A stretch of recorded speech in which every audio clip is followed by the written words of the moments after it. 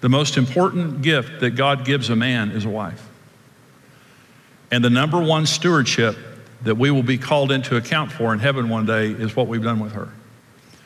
And history proves that men have put women down and used them for their own purposes for millennia. And what God's word calls men to do is not to use women and not to put them down. What God, God's word calls men to do is to nourish her and cherish her. And if God has called her to be a stay at home mom, a doctor, a worship leader, a missionary, a, an astrophysicist, whatever she has been called to do, to our hurt, to our hurt, we are in her life to make sure she gets to her full potential, even if we don't get to ours.